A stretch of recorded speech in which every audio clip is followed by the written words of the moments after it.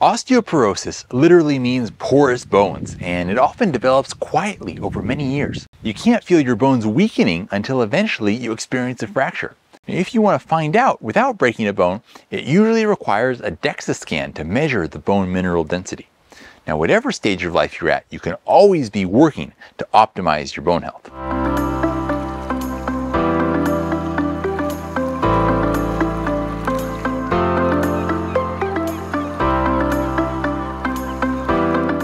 Hi, I'm Sage. It's great to be here with you. I'm here to be your source of cutting edge wellness information to help you find answers to become happier and healthier.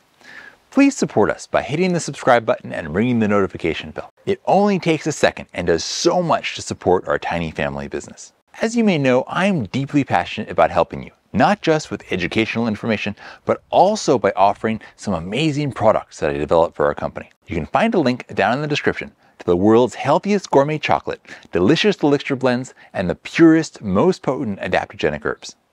Now, most people will just think about drinking milk and taking calcium supplements to help with their bone density, but there's so many healthier and more impactful things that you can be doing. For example, the first thing to think about is taking D3 and K2.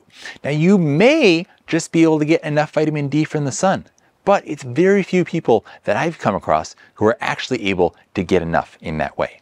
We just spend so much time indoors these days. When we're outside, you have sunscreen on, you don't live in the part of the world where you can make a good amount of vitamin D. It's challenging. But with a supplement, you can get there quite easily. And it's very important to have your vitamin D levels tested so you know where you're at. Now with vitamin D3, it's going to improve your absorption of calcium. But then that calcium, where is it going to go? You don't want it to go to somewhere like your heart. So you need K2 to direct it with where to go and send it to your bones. Now magnesium is also a very important mineral here because it's required for proper calcium metabolism. It's great to look at a supplement like magnesium glycinate or magnesium citrate and also remember that cacao is the highest natural source of magnesium that you're going to find. In the herbal department, one of my favorites here is eucommia. It's a tree bark that's been used for thousands of years in the Taoist herbal system for building skeletal health and also for building the integrity of tendons and muscles and ligaments. So overall, it's a great herb to support the strength of your body on all levels as you're going through life.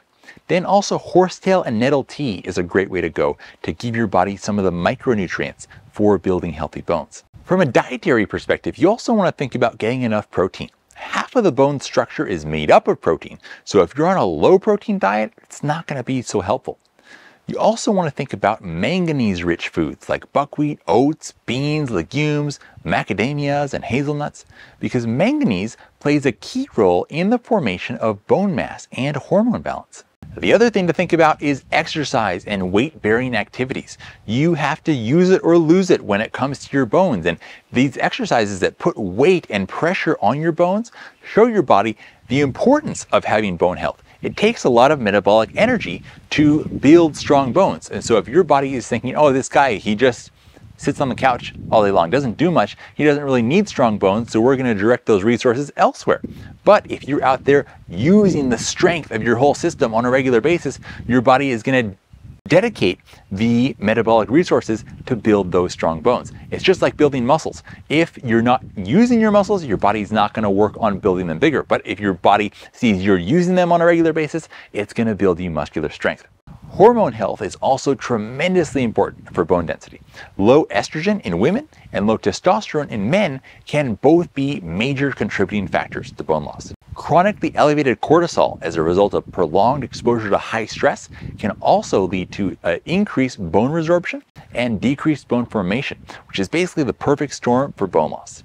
Now, I talk about this a lot, but it's worth saying again that getting your hormones in the right place is going to have major benefits for almost every area of your health. I'll link to a couple of other videos on this below if you'd like to take a deeper dive.